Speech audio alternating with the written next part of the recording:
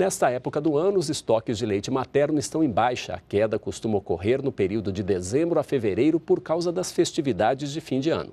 Karine e Soliane acabaram de ser mães. Os filhos, a Maria Júlia e o Leandro, são prematuros.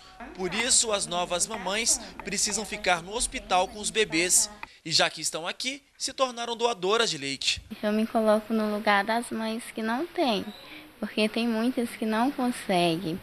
Aí, como eu tenho, eu dou para ajudar. Acho muito importante doar, doar leite para o bebê. E isso, outras crianças.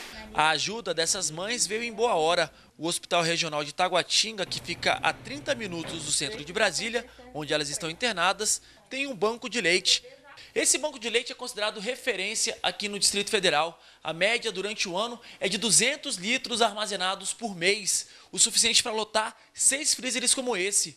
Mas durante esse mês, com a queda do número de doadoras, só é possível lotar apenas dois freezers. O resto fica assim, ó, totalmente vazio. Muitas doadoras viajam por festas, né? Por causa de festa de, ano, de Natal, de Ano Novo. As mães recebem visita e não então normalmente cai muito é, as doações.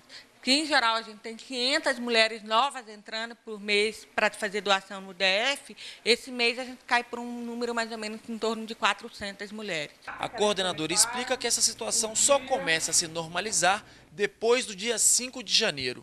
Toda mulher que esteja amamentando seu bebê e tenha excesso de leite materno, ela pode fazer doação de leite materno. O leite materno é o melhor alimento que qualquer criança pode receber, porque além de nutrir, que faz ele crescer e engordar, é um, um alimento que também traz nutrientes, que vai dar imunidade, que vai auxiliar na inteligência da criança.